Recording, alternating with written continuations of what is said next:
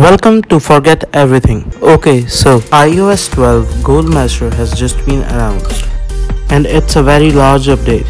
It was about 2.76 gigabytes. Before updating, I was having 142.98 gigabytes left and after I was having 146.86 gigabytes left. Overall, the whole user experience is very good.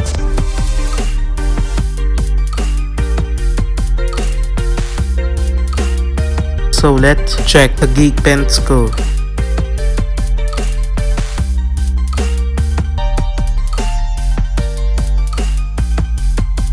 And it took a lot of time.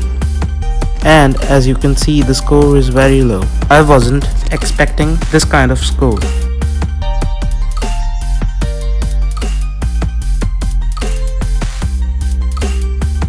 Compared to average iPhone X on iOS 11.